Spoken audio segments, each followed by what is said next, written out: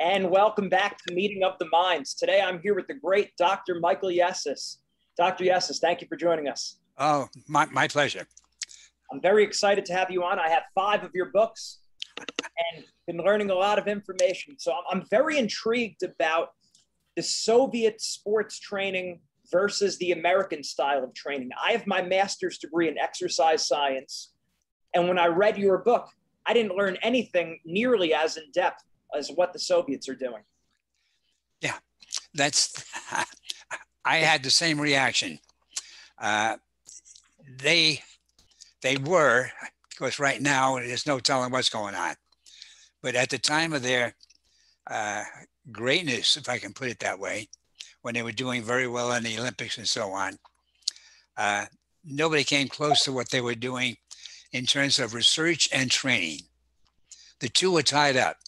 See, science and training were blended together. They didn't do anything by the seat of their pants. Everything had a reason for it. You did this because of this.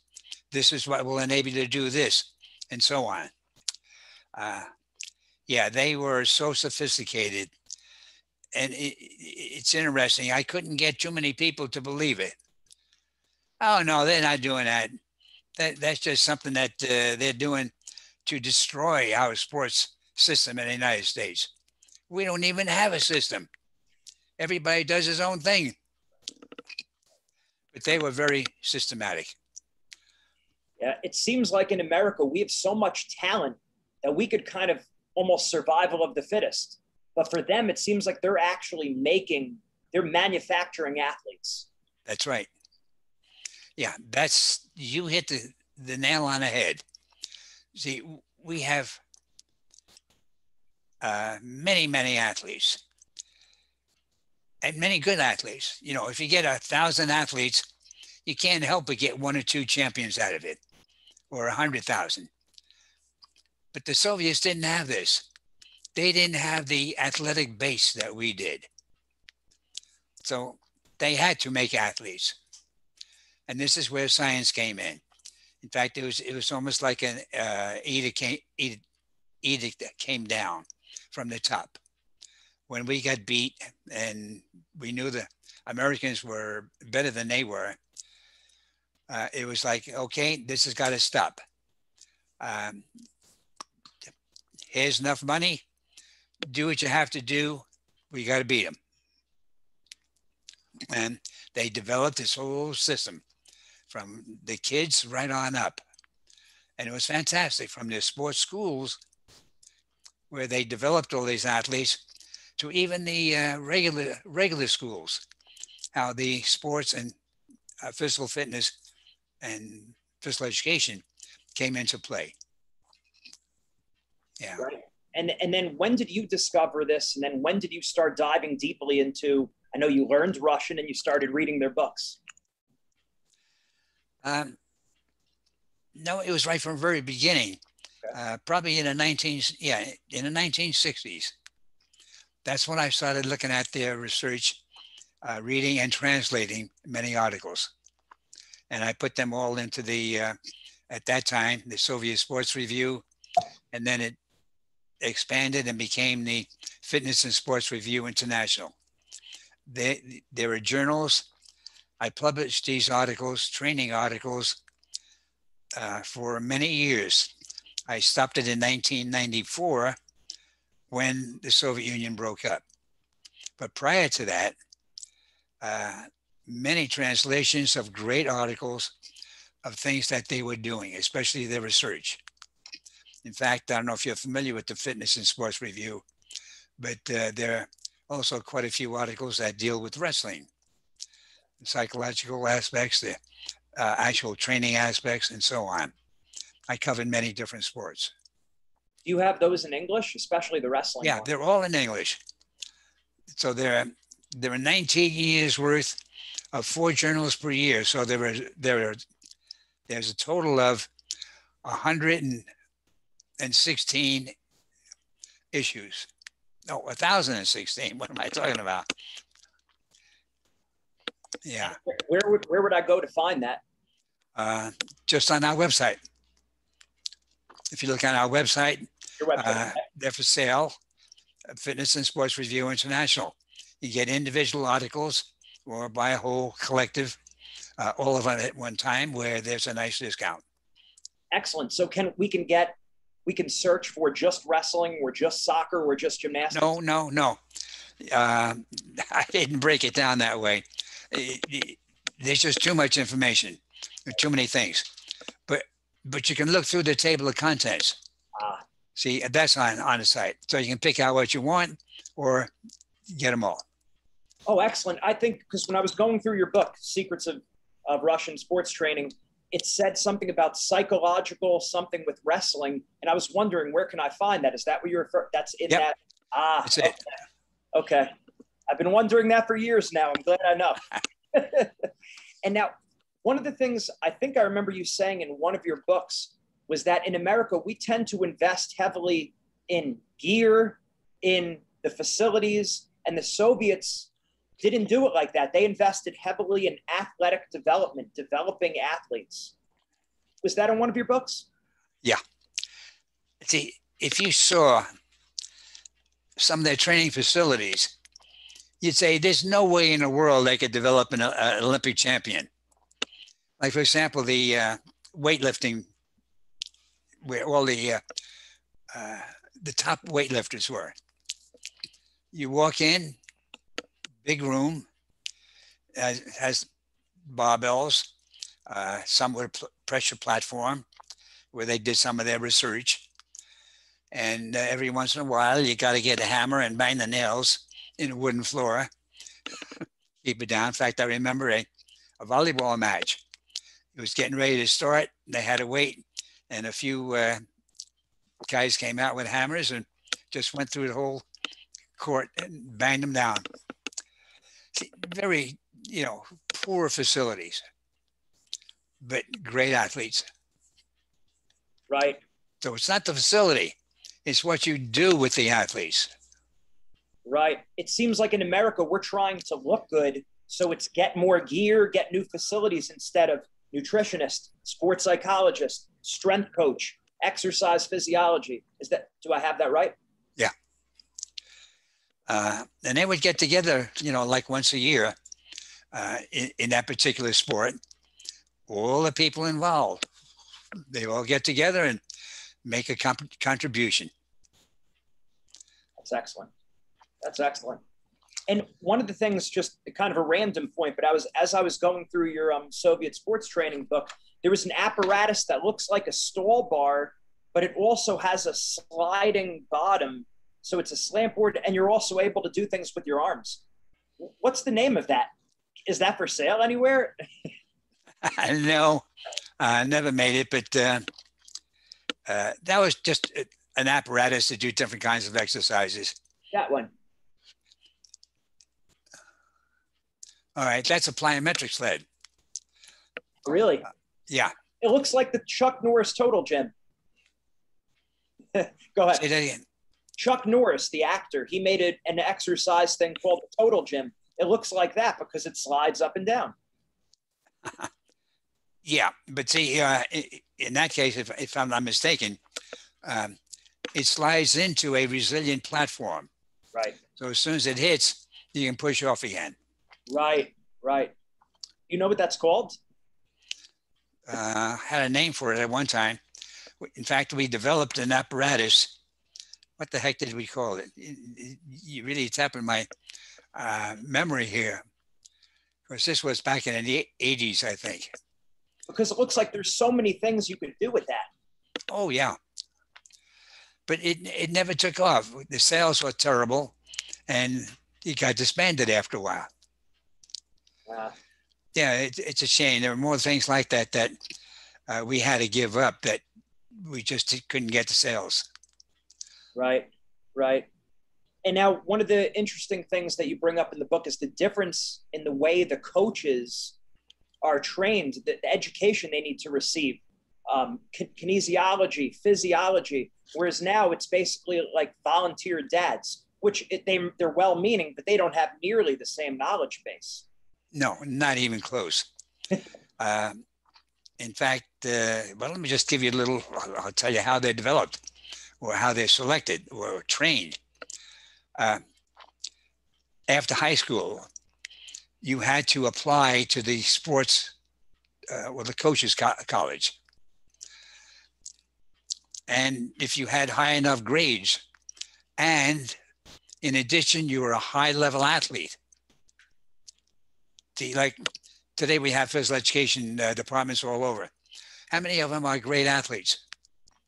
In fact, today, from what I've been able to gather, physical education is so broad, it includes so many different fields uh, that the actual physical physical education coach is a minor part of a physical education department. But in the Soviet Union, boy, you had to be a great athlete. You had to be a champion in that region. And and you had to have the smarts. Then you were accepted. So in the uh, sports colleges, they did a lot of research and it was all with these high level athletes. So their research applied to high level athletes. It wasn't like doing research that applied to everybody like the way we do. Oh, yeah, this physical education people should do this. Well, physical education people aren't athletes. They once were. In my day, I was in physical education. Uh, you had to be a good athlete. But today, it's not important Right. it would seem very important to have the practical know-how as well as the theory. Bring both of those together is a great combination. Right, and uh, also it's interesting. See, I got to know quite a few of the Russian coaches, and when I visited a few times, this one coach who was a uh, I no pole coach. Uh, he he came. We saw each other in the morning. He said, "Hey, congratulate me, Mike." I said, what for? He says, my boy just won uh, the competition in Moscow, so now I'm okay for the next five years. And I said, wait a minute, what do you mean your boy won in Moscow? You're here in, uh, uh, in Minsk. He said, well, what do you mean? He looked at me like I was nuts. He said, hey, he's a grown boy. He can take care of himself. Why do I have to be there? But yet you take a look at our mentality in the United States oh, the coach has got to be with them all the time. He's got to be holding the athlete's hand. Whereas there, you were on your own, kid. We can train you. We can tell, give you everything. But then when you compete, you don't need us. Right. And this way, and me as a sports psychology guy, it doesn't give you that dependence on the coach. You have a level of self sufficiency. Right. Exactly. That's excellent and talk about i know you speak about it in this book a little bit what what did they do with how did they approach the mindset and the sports psychology piece i'm sure every sport was a little bit different but what did they maybe have in common that they were doing that we're we're not doing or we didn't do okay they would use psychology not only in terms of determining what kind of an athlete he is see they identified four different types of uh, psychological uh, what's the word I'm looking for? Four different kinds of athletes. Okay. If you were this kind, uh, then this is the best training for you. If you were this kind, then you need more of this. So, in other words, I identified the types of training to suit the particular personality of the athlete. Wow, I didn't know that. Yeah. And then in addition to that, they use the uh, psychological uh, in, in terms of some strategy. Like, for example, uh, I remember once when I was with the Soviet uh, wrestling team, and they had an athlete who would stick his left leg way out. Now you know when you when you get into in, in your stance and uh, you're going to begin uh, you know, beginning of every match. So he would stick his leg way out. And nobody ever did this because, boy, that's easy for the other one to grab it and take him down. But nobody ever could. See, he did it that way. It was so tempting. They would dive to get the leg, and then he'd be able to squish him down and, you know, get him in a position where he could handle him. So they used the psychology this way. See, what can we do to psych out the other guy to make him do a stupid move? Right. Right. So they're using it to enhance their athletes as well as playing mind games with their opponent. Right.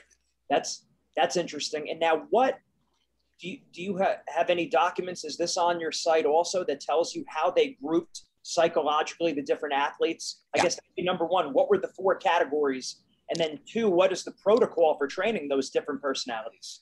I don't remember all of them. You're taxing my memory too much. Uh, but one was the aggressive type. One was uh, uh, non-aggressive. Um, one was sanguine. Uh, Sanguine. yeah, and, and another one I don't remember the four. So, yeah, but it was interesting to see how they would identify him and know which athlete is which. Did they have a lot of success with that? Like, do you think that would still be successful today if they did that? I don't see why it wouldn't be. Right. Makes sense. People are people. Human nature is human nature. That's right. Makes sense. And then, wow, yeah, that's that's very interesting. I didn't know about that. And then the protocol to train those different personalities. Where would we find that? Uh, well, I'm not sure. Maybe take a look. See, uh, you know, it, it's frustrating to hear you even ask questions like this because see, I had all of their journals, their coaching journals. There was one in wrestling, but I was only able to translate maybe one tenth of one percent of all the information available. See, so when you say where can I find it, yeah, it's all in the Russian journals, and I got them, you know, put away someplace. I wonder I if there's people. I wonder if there's people in Russia who specialize in wrestling that would be able to. Boom, they have all of them. Uh, today, I have no idea. Yeah, At one time, yes, prior to the breakup. But right. now with the breakup and uh, Putin being uh, the screwball that he is, uh, it's hard to say what's going on. How about this? What age would they assess the person's personality? Would it be once they got to be 11, or is it more like five, six, seven? No, no, no. They wouldn't do anything in these early ages. That's a misnomer that we we uh, perpetuated in the United States somehow. But Talk about that a little Uh, bit. Go ahead. They didn't do any serious research and investigation until they were much older. When they became uh, legitimate athletes. Okay.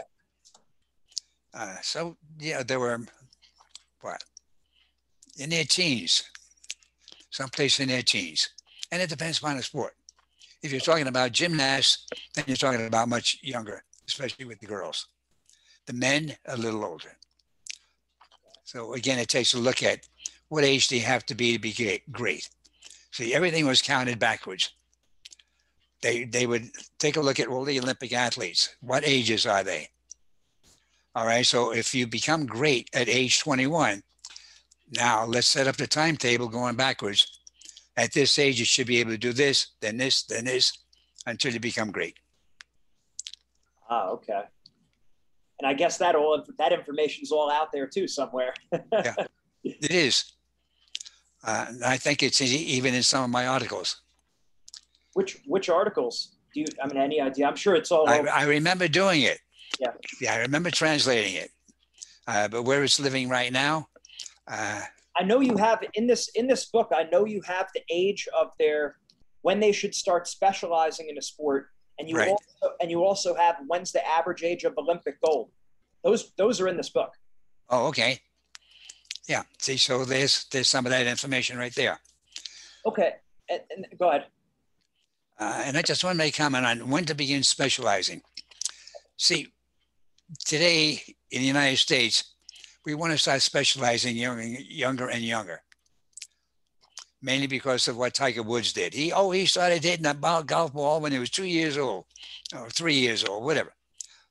That's so stupid, because you know not only are you not uh, uh, brain developed in the brain to be able to function well, but even physically.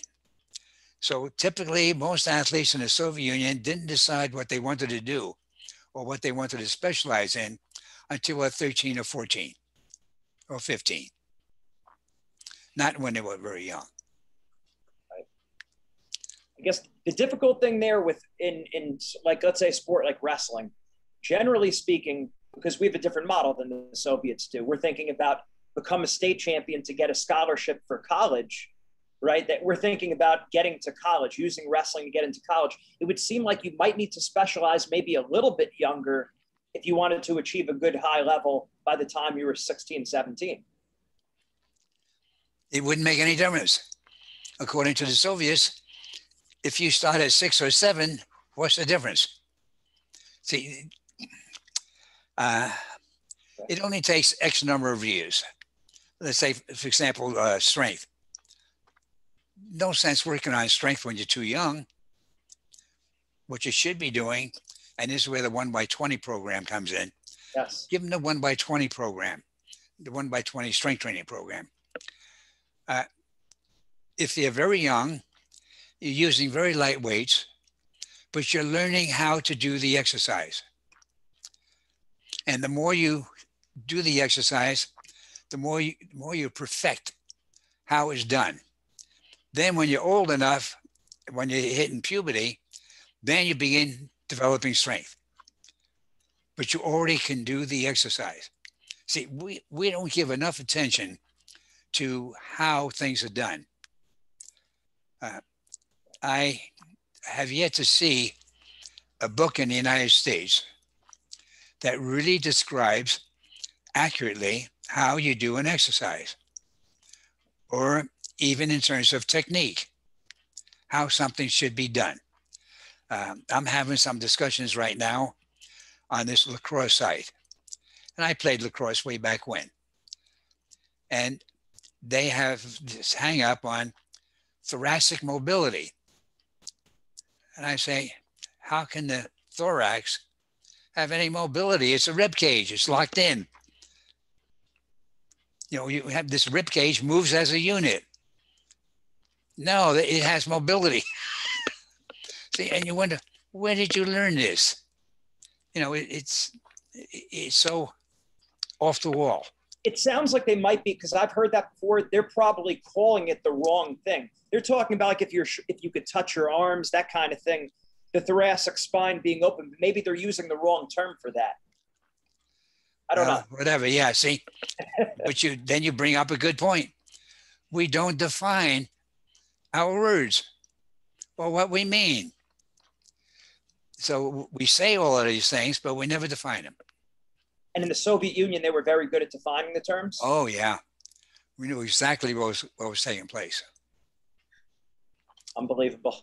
Unbelievable. So, it, correct me if I'm wrong. You would start a young kid, whatever age they were, doing a variety of, you know, pull ups, rope climb, gymnastics, body weight exercises. And then once they hit around age 10 or 11, you put them through the one by 20 program. Is that, is that about right? All right. Well, no. See, before that, rather than the exercises, they would be doing various sports. At around what age would they begin that? oh, as soon as they can handle it.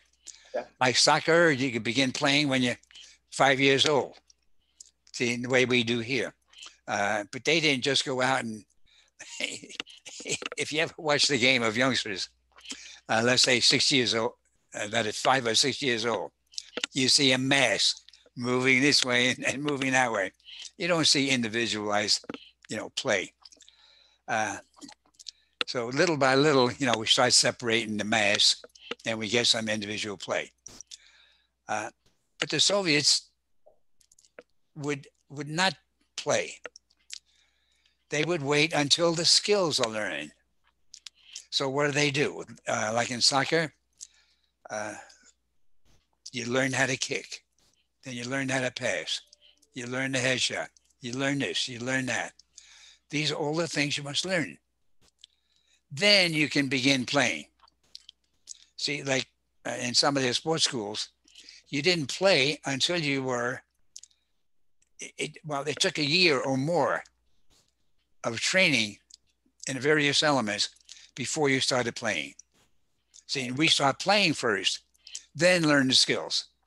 They learned the skills first, then played.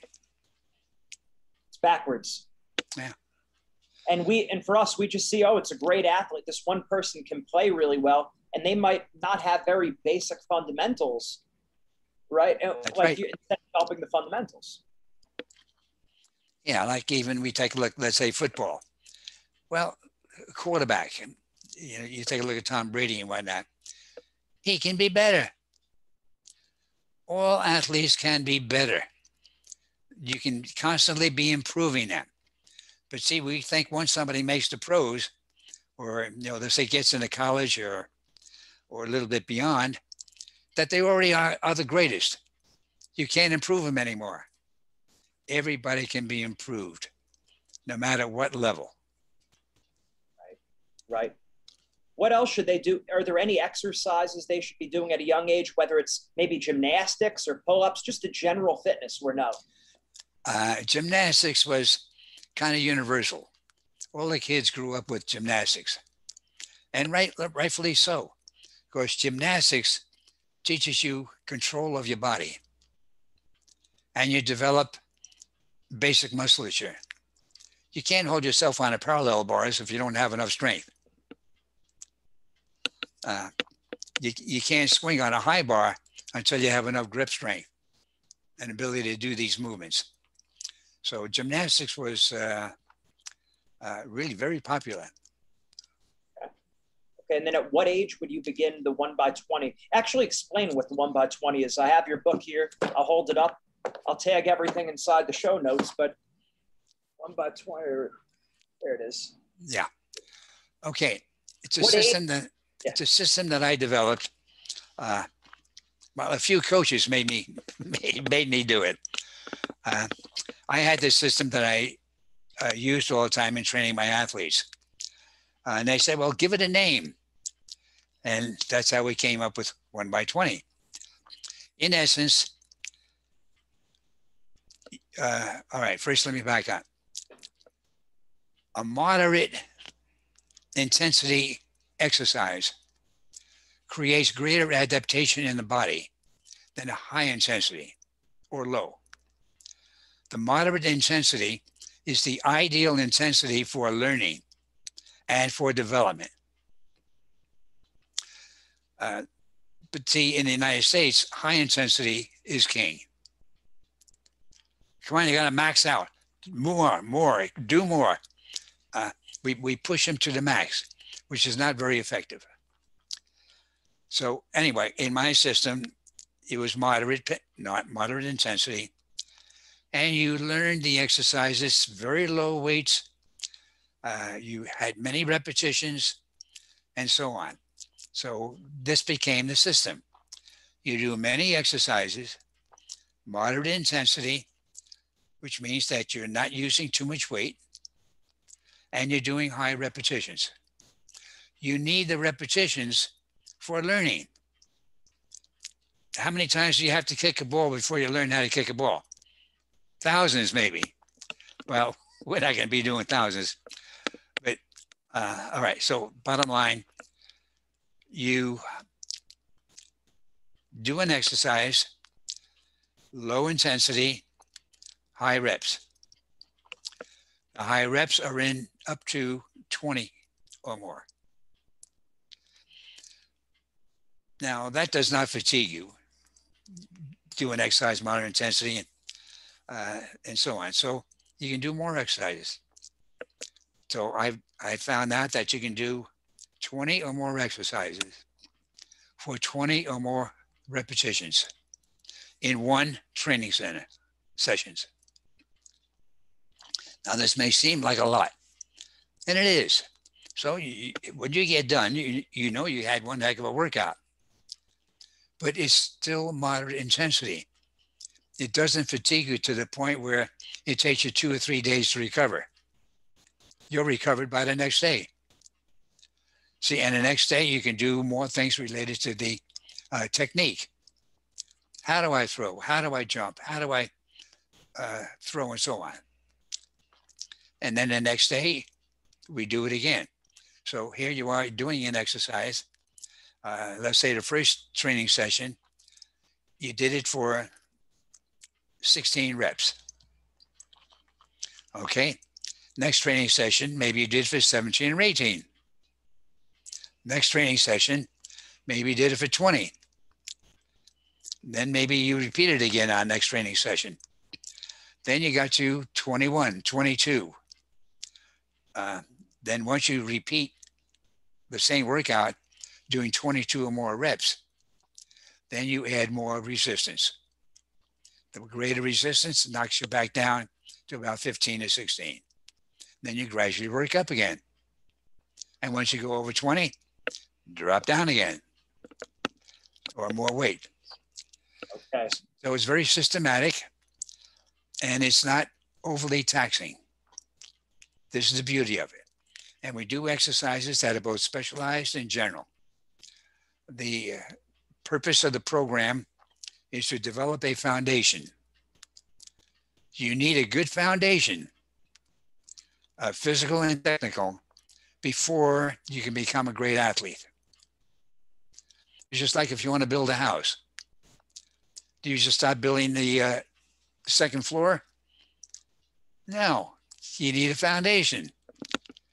That's the very first thing you do. Then you build on that foundation.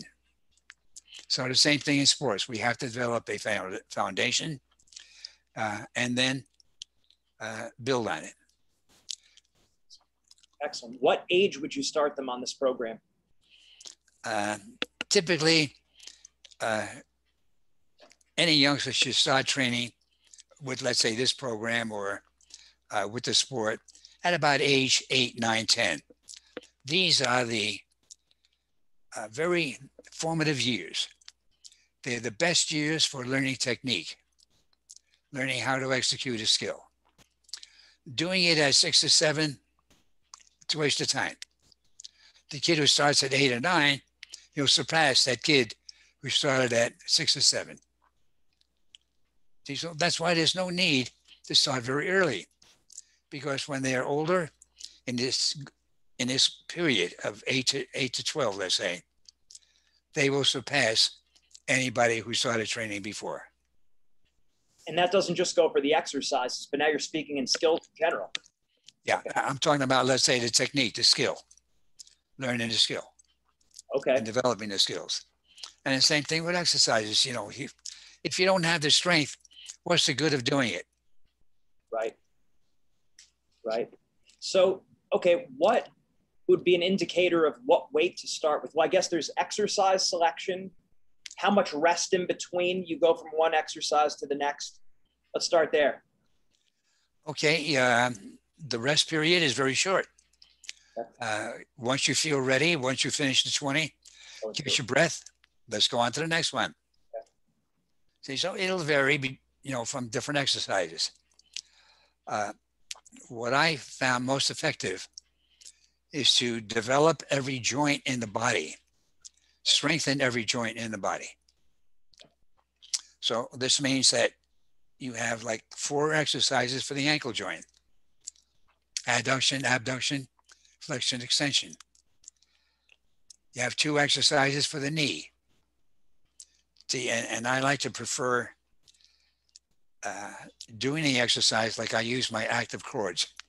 It's a, uh, set of uh, cords that I use that can do movements that you can't do with dumbbells and barbells. So for the uh, knee, we do like standing knee extensions and flexions. So it's more free range. You're standing and then you're extending and, and flexing, two different exercises. Then for the hip joint, we have at least four different exercises adduction, abduction. These, these again are with the active cords, learning how to develop the muscles on the sides of the hips.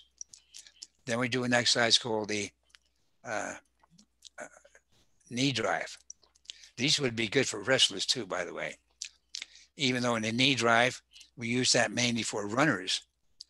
In wrestling and many movements, you got to whip that knee around to do whatever the move is. So that's why an exercise like this would be important. Then we have one called a pull back. This is where developing the ability to bring the leg back very forcefully. Uh, then we can throw in an exercise like the squat. But the squat is not that important initially. We can do that later. All right, and then uh, for the abdominals, at least three different exercises. Uh, the reverse trunk twist, reverse sit up, and 45 degree sit up. Uh, later on, uh, the exercise can become more advanced. From the reverse uh, trunk twist, we can go to the Russian twist. And I think you're probably familiar with the Russian twist. Okay, and then, uh, oh, and then for the lower back. And this is where I find most coaches are really lacking, not only in uh, giving these exercises, but knowing about them. And that's the back raise and back raise with a twist. Now, uh, without going into too much detail, where the axis of rotation is is critical to the development you're going to get uh, from the exercise. For the back raise, the axis is in the waist. For hip extension, the axis is in the hips. Very little difference. But when you're hanging over, let's say the seat of a, a glute ham developer, if it's from the waist, you're getting one kind of development. If it's from the hips, you're getting another kind of development. So here's where exercise ex execution becomes very handy or very important. All right, and then, so then we do the back raise and back raise with a twist. Why do we add these twisting actions? Because they're critical for full abdominal or lower back development the erector spinae do not just you know raise the trunk or do extension, but they're also involved in rotation.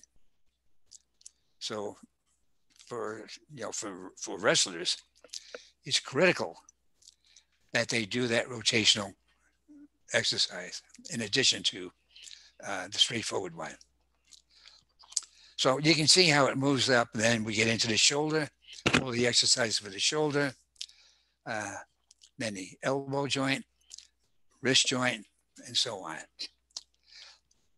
Now, the wrist joint is sort of interesting. Uh, most people don't do enough for the wrist. They do flexions and extensions, but they leave out ulnar flexion and radial flexion and supination, pronation. So all these movements become critical at one time or another. All right. So anyway, uh, these are basically the exercises, and we can throw in some specialized exercises, you know, to make up the uh, full amount. And as they go along, sometimes the one by 20 can be repeated. Most often it is. Uh, there are athletes, you're going to hear about this guy soon. His name is Quinn. Uh, can't remember his last name right now but he used only the one by 20 program and he became phenomenal. Uh, he's going to probably go on a second or third round in football. So just from using the one by 20, he became an outstanding athlete. And how many times a week should an athlete do that? Three times. Okay. Three times. An optimal number of exercises? What was that, 20 or 24 you said? Uh, yeah, and it could vary. There's no, uh, uh, there's nothing that says you can only do this on only that amount. It depends upon the athlete and what you're trying to develop. Typically at the beginning, we do more.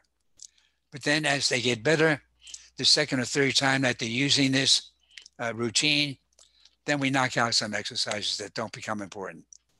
Like for many athletes, ankle adduction and abduction are not important. So we drop that exercise.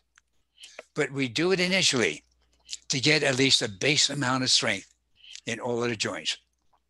And we need this for injury prevention. When you get an injury, where does the injury occur? Typically to the weakest link or the weakest muscle. Right. Now that make that makes sense. And then how should we choose an initial weight to use? Like you say, moderate weight. Should it be a weight that we could do about 15 times? Right. See, and then you have to experiment. You what what weight can I use to give me uh, you know five or six reps? See, that's why we start off with very very low reps. Get a weight. All right, let me do five. See, that was light and easy. All right, next time let's use a little bit more weight. See, and then you eventually get to the weight that you can handle for the X number of repetitions. And yeah, and work up until you hit 20. Once you hit 20, or once you hit more than 20, then you bump it up. Right. The weight, the weight. Yeah, wait, yeah. Okay. And then one thing that you spoke about there that I know is a big part of what you stress and the Soviet model about the importance of recovery. And a lot of times coaches are not thinking about that to the same extent that if you're wiping your body out with training, you only have so many hours in a day and you only have so much energy. If you wipe yourself out in the weight room, you're not able to develop your skill, your craft.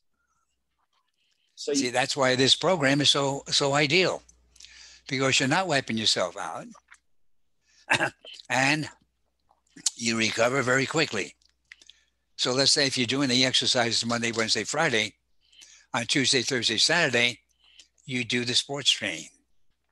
You work on technique or the techni- technical aspects, and you're fresh enough to do it.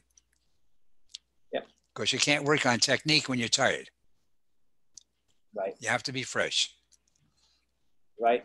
And then something I noticed in your book, uh, The Secrets of Russian Sports Training, was that the, the elaborate way that they recover, talking about exactly how to do a sauna, exactly how to massage different parts of your body, really broken out. And I mean, we used saunas and wrestlings more to cut weight, but not as a recovery. Right. And how in depth what the what the relative humidity should be, what the temperature range should be. A lot of things you spoke about that that the Soviets did for recovery. Yeah, they. Uh, in fact, I knew uh, uh, the person who was really the, the top guru, if I can use that term loosely, in the recovery area. Uh, he came from the massage world, but he knew about all the different methods and when they should be used and how they should be used, how they should be alternated. See, they did so much research on this. They didn't just come up and guess, all right, well, today we'll do the massage. Well, tomorrow we'll do this. Next, no, they did research to find out what is going to be the most effective. So uh, that's really uh, shut up, phone. Okay. and the, and the nutrition too. Inside your book, it talks about the different vitamin requirements for each sport. And when you made that point, I said, "Wow, that makes so much sense." It's not just everyone gets X amount of vitamin A, vitamin D, vitamin C. You have a 100 meter sprinter and you have a marathon runner who have two entirely different sets of needs. Yes, uh, and this is this is what I really liked about the uh, Soviet system. Nothing was left to chance.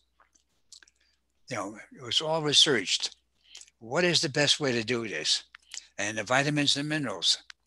See, like today, uh, I, I've I've come to the conclusion that all athletes need some vitamins and minerals, uh, and they should be whole food nutrition. Commercial uh, supplements do not work. Oh, you can take them, but they really don't help help you. But when they're natural, made out of whole food, then they play a major role. Why is there such a big difference? Well, let's put it this way nobody can duplicate what nature has done.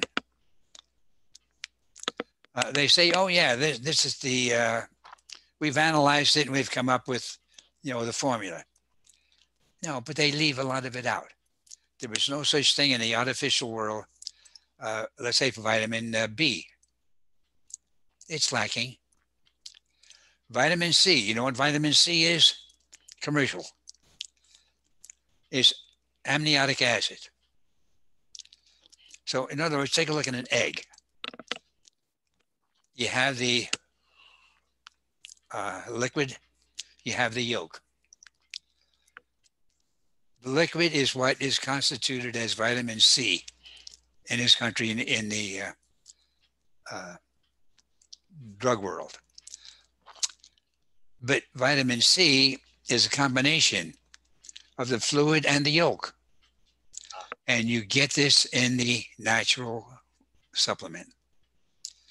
Now, there are several co- companies that produce only natural supplements. And I use these. One of the most popular that I use is Standard Process. So if you look up, uh, look them up online or Google them, you'll see how all of their uh, supplements are natural. Standard process. Mm-hmm. Excellent, excellent.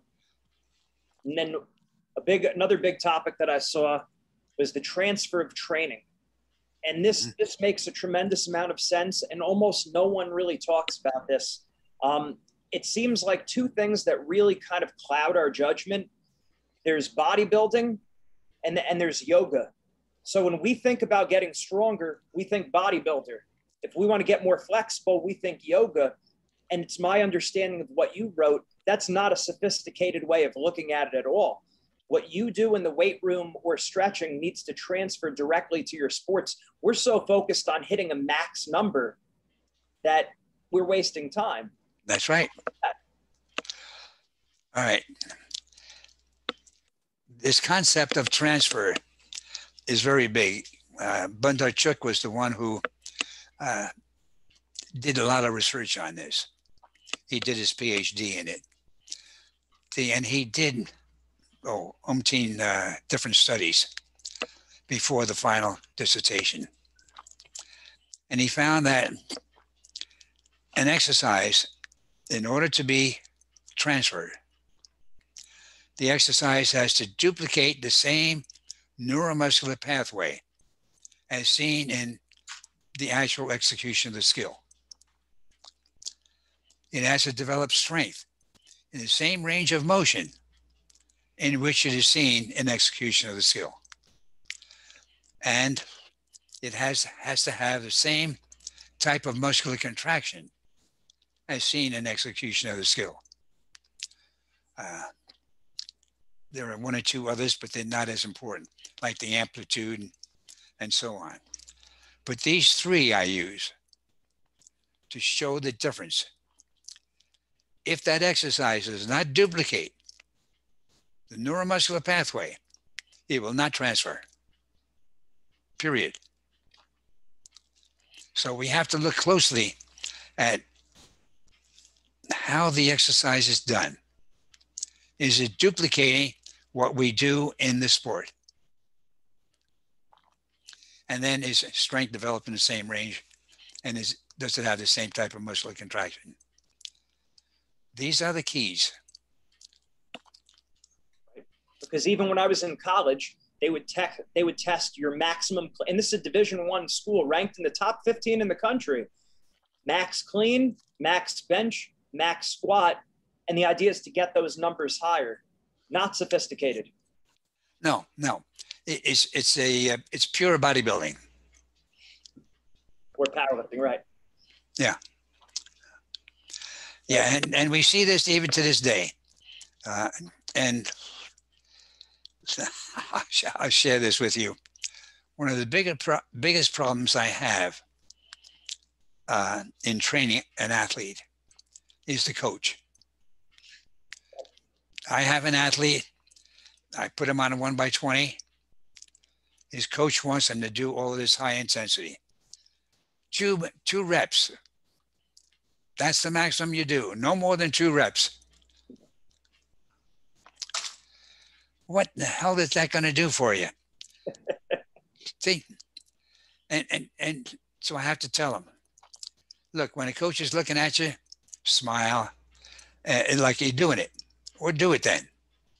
Once he walks away, stop doing it. You have to cheat. I hate to say this, you know, to an athlete, but learn how to cheat. It's a sad commentary. Right, because you're thinking about their recovery, their longevity to max to optimize the workout. You want to you want to make the exercise work for you. You don't want to work for the exercise. That's right. And then it sounds very similar with stretching. I work with a lot of wrestling teams and the coaches what they'll do is they'll just have the kids do yoga. And I'm saying I don't think that's what the kids need. That's not really training the stretches in the joint angles that they need to be strong in. I think about your book talking about active versus passive stretching for athletes. Yeah. Yeah. Uh, Talk about that a little. See, now the active stretching means that you have to move through that range of motion. You have to engage the muscles. See, and, and, and what I say, and this seems to stand up, don't even bother with flexibility training. I don't do any. But what I do do is have the athlete go through the full range of motion. When you go through the full range of motion, you have the maximum flexibility that you need.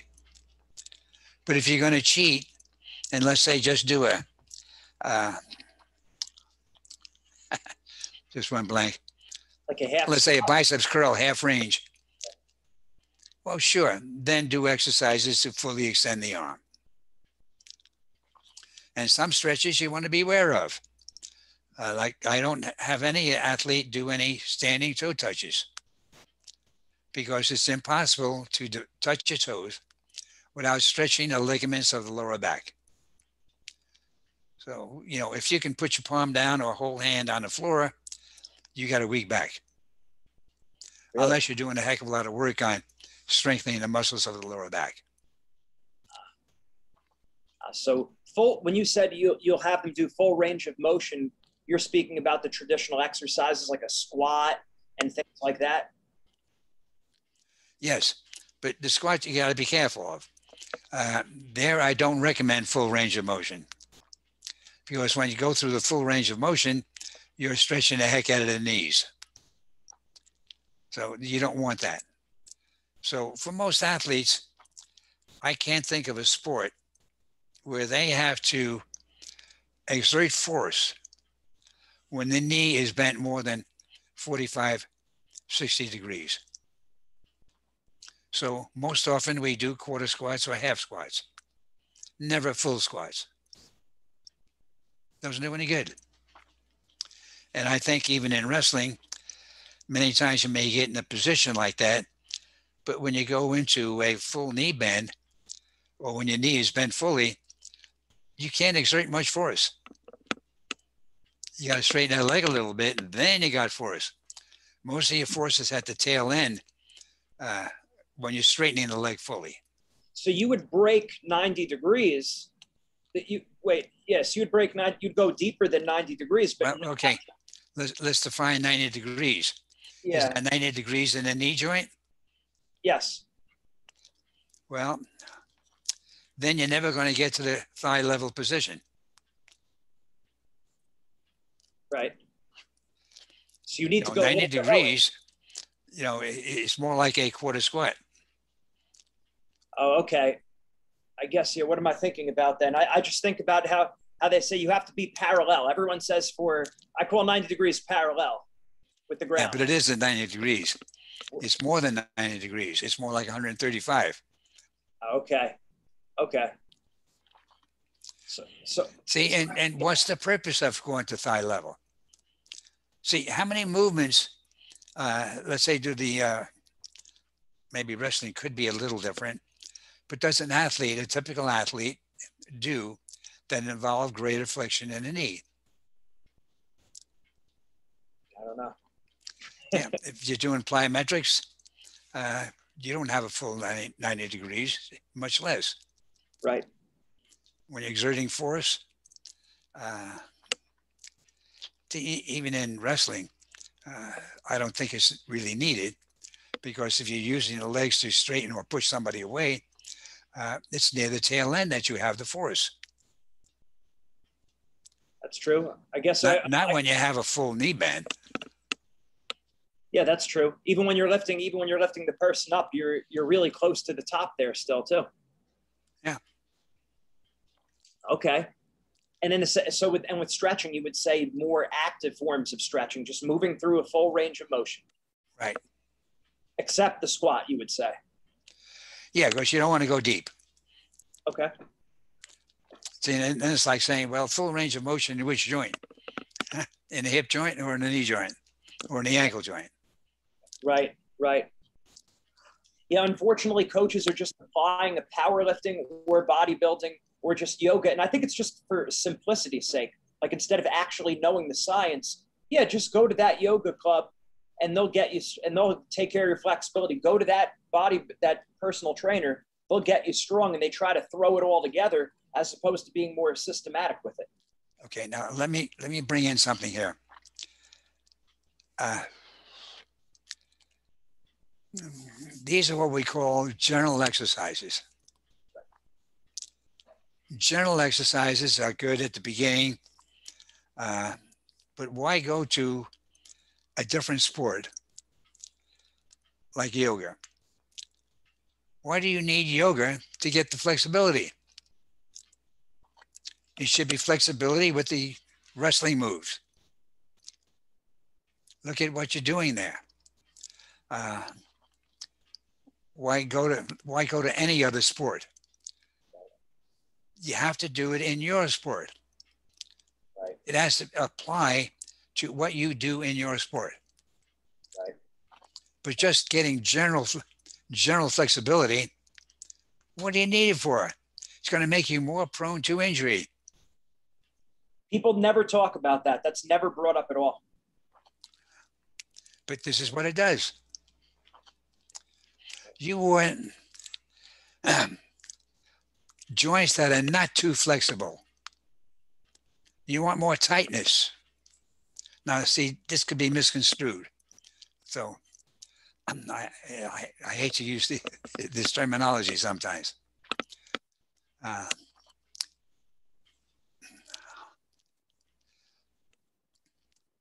if I took a world class wrestler, especially some of the, the Russian ones, and I asked them to touch the floor with, with their, their hands or come close to it, they wouldn't be able to do it. Or some other movements. No, they, when they're tighter,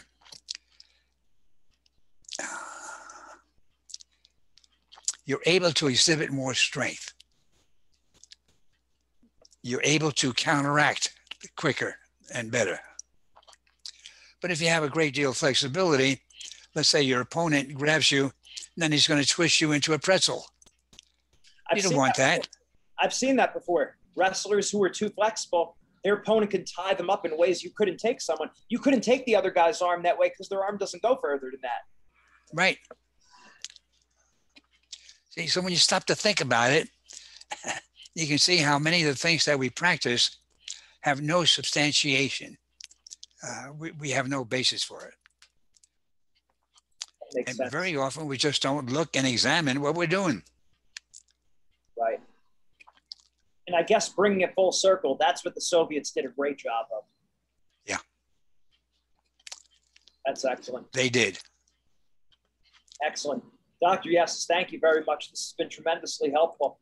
Where can we send people? First of all, is there anything I missed? Anything that you were going to say that maybe I cut you off? No, I, I can keep going on, but uh, I, I think we kind of covered the waterfront. Excellent, excellent. Where can I send people to find more information about what you do?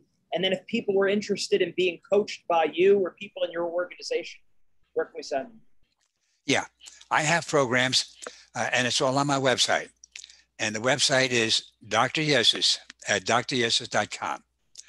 That's D R Y E S S I S at D O C T O R yessis.com. And the website is just Dr. Spelled out dot com. Oh, yeah, I gave you my email address.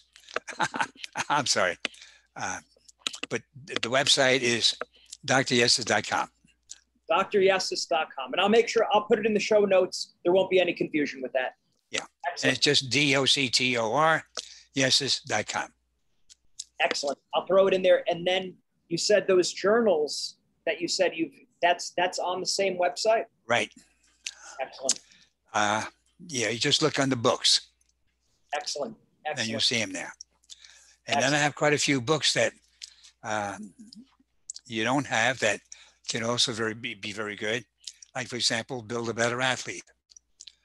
That's a great book that uh, many coaches tell me this is what helped them. There you go, you got it. Yep. Any books in particular for a wrestler? Uh, not really. Uh, there are little bits here and there in the other place. Right. Oh, I'm finding a lot of great information that's good for wrestlers scattered throughout the book. I was just thinking if you had anything all consolidated. Okay. Thank You know. I wish I did. You know, I, I wish I had this in all sports, but you know, there is so many and so much information, and trying to narrow it down, it gets kind of tough. That's right. Well, thank you very much for all that you've done to bring all this information to the forefront. I hope I can pass this out with all the athletes that we work with. So thank you very much again, Dr. Yessis. You're very welcome. All right. Take care. You too. Bye. Bye.